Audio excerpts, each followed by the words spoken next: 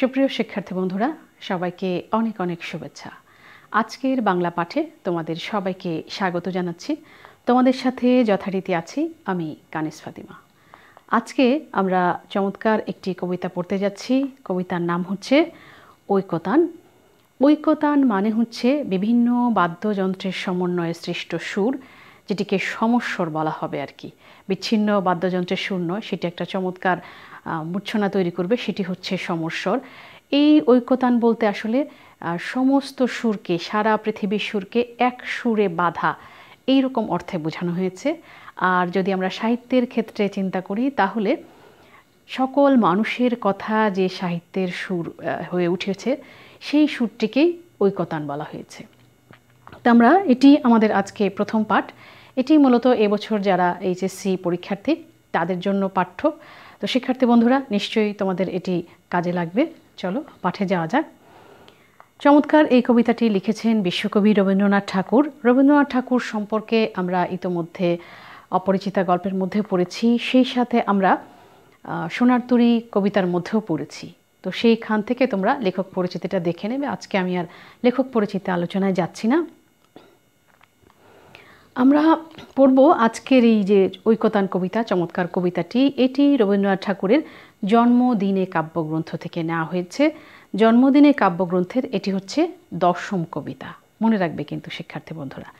তেরোশো সাঁত্রিশ বঙ্গাব্দের ফাল্গুন সংখ্যায় প্রবাসী পত্রিকায় কবিতাটি প্রথম প্রকাশিত হয়। দুটো প্রশ্ন হতে পারে, কোন পত্রিকায়, প্রবাসী পত্রিকায়, কোন সংখ্যায়, ফাল্গুন সংখ্যায়? কবির মৃত্যুর মাত্র চার মাস পূর্বে তেরোশো আটচল্লিশ সালের পয়লা বৈশাখে প্রকাশিত জন্মদিনে কাব্য গ্রন্থটিতে প্রথমে এই কবিতাটি অন্তর্ভুক্ত হয়। তার মানে এটি আসলে কবির শেষের দিকে জীবনের শেষ লগ্নে লেখা এবং একেবারে শেষের দিকে প্রকাশিত এই কাব্যগ্রন্থ।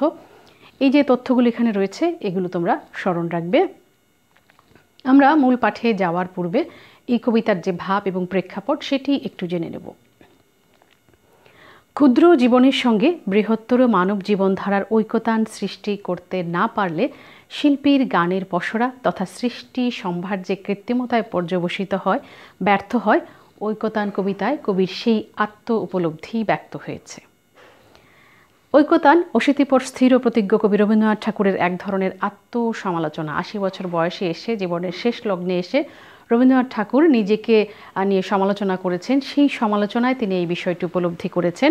এটি কবি হিসাবে তার নিজের অপূর্ণতার স্বতঃস্ফূর্ত স্বীকারোক্তি।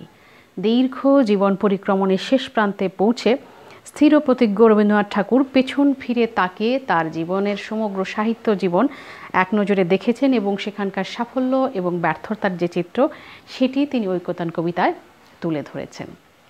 শিক্ষার্থী বন্ধুরা, এটি কিন্তু এক ধরনের বিনয়। যে তার লেখার ব্যর্থতা তিনি খুঁজে পাচ্ছেন, স্বীকার করছেন। মহৎ মানুষেরাই কেবল এটি করতে পারে। তা আমরা চলো পাঠ বিশ্লেষণে যাই। বিপুলায় পৃথিবীর কতটুকু জানি, দেশে দেশে কত না নগর, রাজধানী। এই যে বিপুলা শব্দটি বিশাল দিয়ে বোঝানো হয়েছে। বিপুল, বিশাল, তবে এখানে শ্রীবাচক শব্দ দিয়ে বিপুলা বলা হয়েছে। বিপুলা এ পৃথিবীর কতটুকু জানি? রবীন্দ্রনাথ ঠাকুর নিজে বলছেন, এই বিশাল পৃথিবীর কতটুকু আর জানি? দেশে দেশে কত না নগর, রাজধানী, অর্থাৎ দেশে দেশে কত নগর, কত রাজধানী, কত কিছু রয়েছে, তার কতটুকু জানি?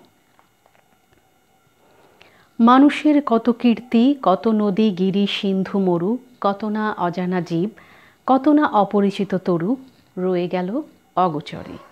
বিশাল বিশ্বের আয়োজন মন মোর জুড়ে থাকে, অতি ক্ষুদ্র তারই এক কোণ। রবীন্দ্রনাথ ঠাকুরের উপলব্ধি আমরা সেভাবে অনুভব করব।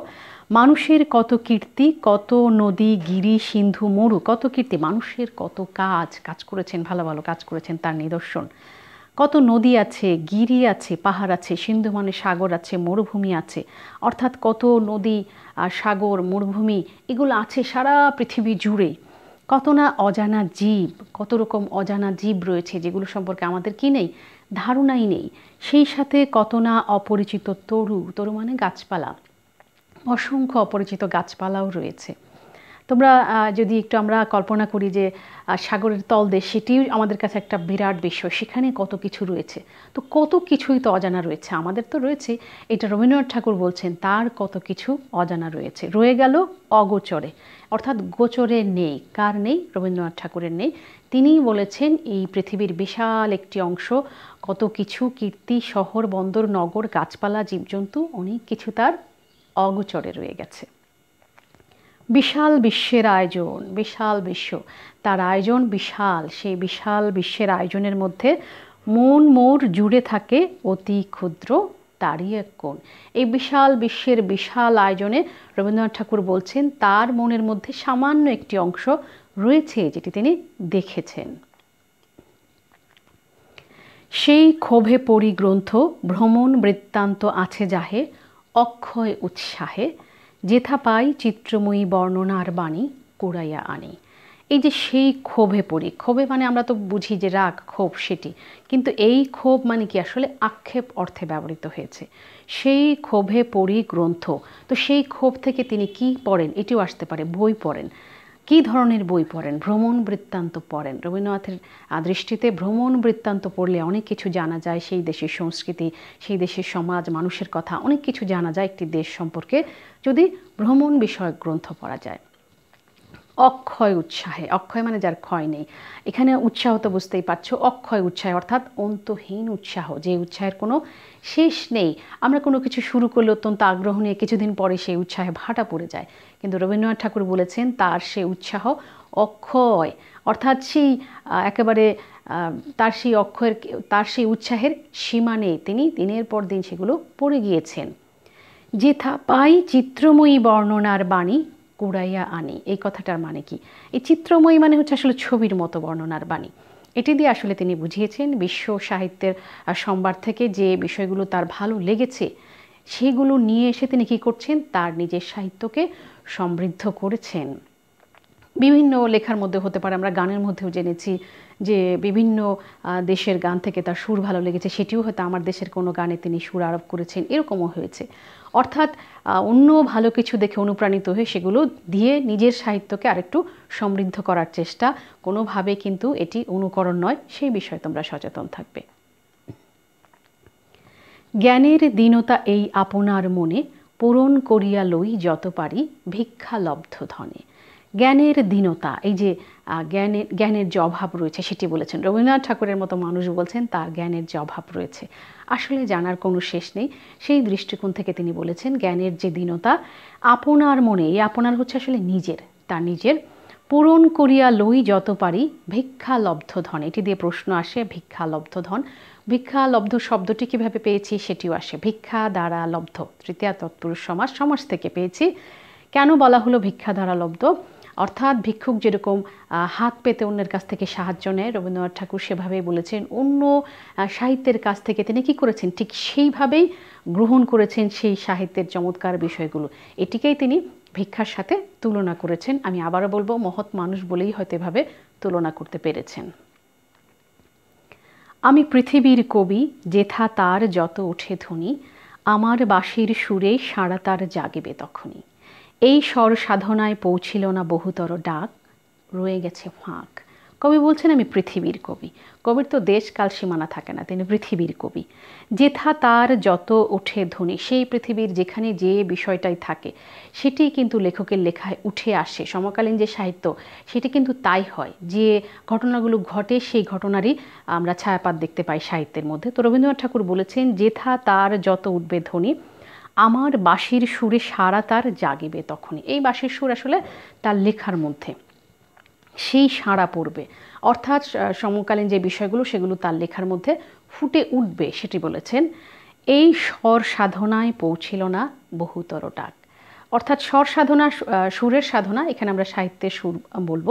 অর্থাৎ তিনি বলেছেন, যেখানে যে বিষয়টা উঠুক না কেন সেই বিষয়গুলো তার লেখায় উঠে আসার কথা ছিল, কিন্তু সেখানে বহুতর ডাক পৌঁছেনি, অর্থাৎ সবার কথা আসেনি।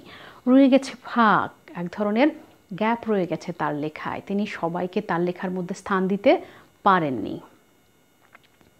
প্রকৃতির ঐকতান স্রোতে নানা কবি ঢালে গান, নানা দিক হতে। তাদের সবার সাথে আছে মোর এইমাত্র যোগ। সঙ্গ পাই সবাকার, লাভ করি আনন্দের ভোগ। পাইনে সর্বত্র তার প্রবেশের দ্বার, বাধা হয়ে আছে মোর বেড়াগুলি জীবনযাত্রার। প্রকৃতির ঐকতান স্রোতে, এই যে ঐকতান স্রোত যেটা বলেছি, সমন্বিত সুর, নানা জায়গা থেকে নানা কবি কী করে নানা বিষয় নিয়ে লেখালেখি করেন, তাদের সবার সাথে রবীন্দ্রনাথ ঠাকুরের একটি সংযোগ রয়েছে। কোন দিক থেকে সংযোগ রয়েছে? সঙ্গ পাই সবাকার লাভ করি আনন্দের ভোগ। তাদের সাথে তার একটা সংযোগ রয়েছে। সবাই যে বিষয় নিয়ে লিখছে সেটা তিনি পড়তে পারছেন, আনন্দ পাচ্ছেন, সেটি বলেছেন। তবে, পাইনে সর্বত্র তার প্রবেশের দ্বার। অন্যেরা যে বিষয়গুলো নিয়ে লিখেছেন, তিনি সেখানে সব জায়গায় কি করতে পারেননি? প্রবেশ করতে পারেননি। দ্বার মানে দরজা, এখানে দরজা অর্থে নয়, তিনি সব জায়গায়, সব সব ক্ষেত্রে প্রবেশ করতে পারেননি, সেটি বুঝিয়েছেন। বাধা হয়ে আছে মোর বেড়াগুলি জীবনযাত্রার, কেন পারেননি? কারণ এই বাধা হয়ে আছে তার বেড়াগুলি জীবনযাত্রার, তার যে জীবনযাত্রা, সেই জীবনযাত্রার কারণেই তিনি সব ক্ষেত্রে প্রবেশ করতে পারেননি। তোমরা জানো, তিনি জমিদার পরিবারের সন্তান, জমিদার ছিলেন। সেই কারণে চাইলেও তিনি সবার সাথে কি করতে পারেননি? মিশতে পারেননি। বাধা, এই বাধা কিন্তু প্রতিবন্ধকতা খেয়াল করবে, চন্দ্রবিন্দু দিলে কিন্তু বন্ধন হয়ে যাবে। চাষি খেতে চালাইছে হাল, তাঁতি বসে তাঁত বনে, জেলে ফেলে জাল।